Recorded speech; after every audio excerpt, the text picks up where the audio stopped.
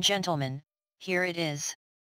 All 9 from Pimlico, all 11 from Churchill Downs including the Mamzelle, all 10 on opening day of the 2024 Monmouth Meet in Oceanport, New Jersey including the Long Branch, all 10 from Gulfstream including the Royal Palm Juvenile Fillies and the Royal Palm Juvenile, all 9 from the Great Race Place of Santa Anita including the Santa Barbara, races 5 through 8 from Emerald Downs in Auburn, Washington State, races 4 through 8 from Golden Gate. 6 through 9 from Evangeline including the Kenny Cotton Memorial for the Alabama-bred older colts and geldings, races 4 through 8 from Charles Town including the Coin Collector for the West Virginia-bred 3-year-old colts and geldings, the last two from Prairie Meadows including the Goldfinch and races 5, 6 and 7 from FanDuel Sportsbook and Horse Racing.